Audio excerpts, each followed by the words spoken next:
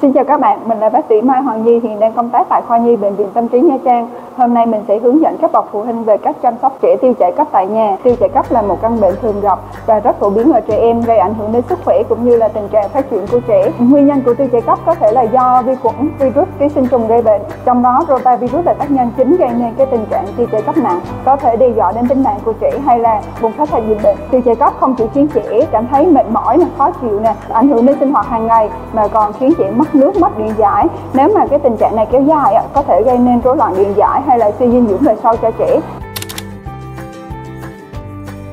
Một đó là bù nước và điện giải. Ờ, đối với trẻ mà còn nhỏ bú mẹ thì sẽ cho trẻ bú thường xuyên hơn bú lâu hơn. Bởi vì trẻ cần năng lượng để hoạt động và phát triển và chống đỡ bệnh tật. Cách cho trẻ uống Orezon thì đối với trẻ mà dưới 2 tuổi thì mình sẽ cho uống từ 50 đến 100 ml sau mỗi lần trẻ đi cầu. Và đối với trẻ trên 2 tuổi thì mình sẽ cho là trẻ uống 100 đến 200 ml và đối với trẻ lớn hơn thì mình sẽ có thể cho trẻ uống theo nhu cầu của bé. À, đối với trẻ mà không uống được dung dịch orezon á, thì có thể thay thế bằng là nước ờ, gạo rang này nước cháo muối nước dừa hay là nước sôi để nguội đều được. Và điều quan trọng thứ hai đó là à, phải tiếp tục cho trẻ ăn các cha mẹ nên chia cái khẩu phần ăn thành nhiều bữa nhỏ để cho trẻ à, tiêu hóa dễ dàng hơn. Bởi vì nếu mà trẻ bị thiếu cái nhu cầu dinh dưỡng trẻ sẽ sụt cân à, dễ dẫn đến suy dinh dưỡng về sau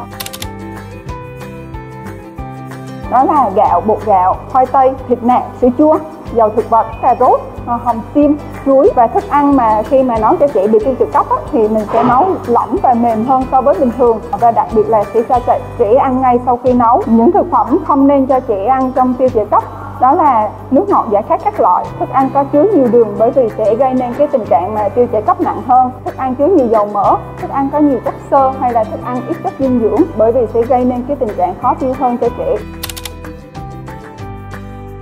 trẻ ly bì.